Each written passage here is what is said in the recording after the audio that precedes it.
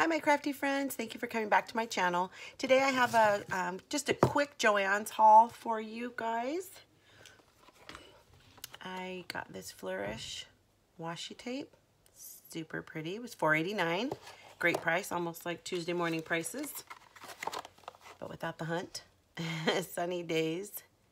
Excuse my voice, I have a cold, so I sound a little bit nasally. And then I got the Sunny Days paper pad. What is it? The six by eight. That was $3.89 and I got two of them. I'm going to be doing a giveaway pretty soon. So I got one for my giveaway. And then I ran out of these Flourish stickers. They were $2.79. That was a good price.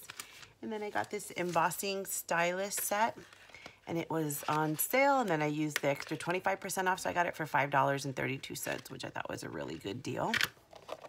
So I just wanted to do a quick share. Joann's is having um, 25 additional 25% off coupon sale today so head on over there and get your goodies. Um, I also wanted to share yesterday I went to Dollar Tree and I picked up this little frame. Isn't that adorable? Wild and Free. So I'm thinking about throwing that in my giveaway as well. And then I've been on the hunt for these little mini binder for binder mail. So I'm going to be altering this. Thought that would be fun. And yeah, that's about it. Thank you so much for coming back to my channel. And give me a thumbs up, please. And I'll see you next time. Happy Memorial Day. Bye-bye.